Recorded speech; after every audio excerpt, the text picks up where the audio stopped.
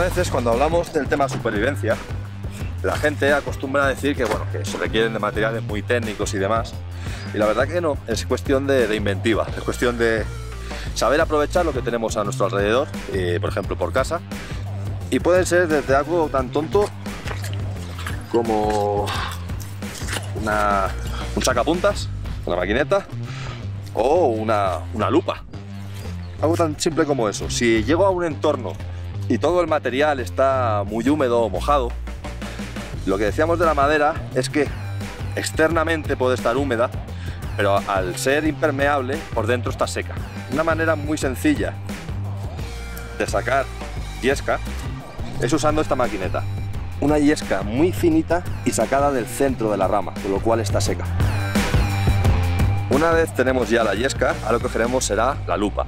Eh, lupas hay de diferentes tipos. A mí la que más me gusta es la tipo Fresnel porque es plástica y no se rompe. Bien, a lo que vamos a hacer es, la bajaremos, haremos pasar los rayos de sol a través de la lupa y buscaremos el punto más pequeñito, que ahí ya vemos el humo como va saliendo, el punto más pequeñito para que se concentre al máximo esa luz solar.